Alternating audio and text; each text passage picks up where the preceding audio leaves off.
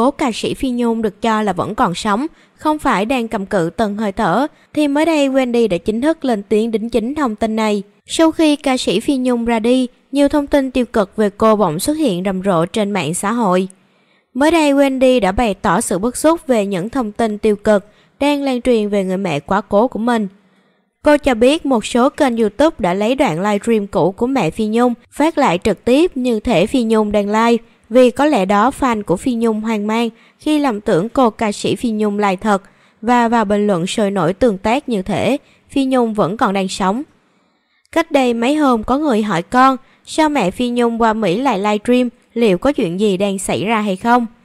Vì chuyện này mà Wendy và khán giả anh em trong gia đình không biết đâu là thật, đâu là giả và không biết chuyện gì đang xảy ra, Wendy cho biết.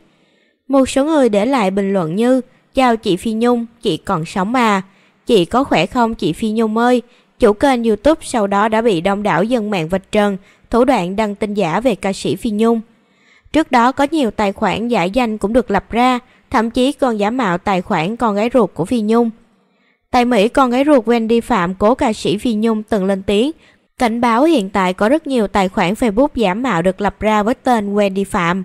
Cô khẳng định chỉ có một tài khoản Facebook duy nhất và không có fanpage nào khác. Wendy Phạm viết trên trang cá nhân, xin mọi người hãy cẩn thận vì những tài khoản kia có thể dùng danh nghĩa mẹ con để trục lợi, như xin tiền hay kêu gọi đóng góp từ thiện.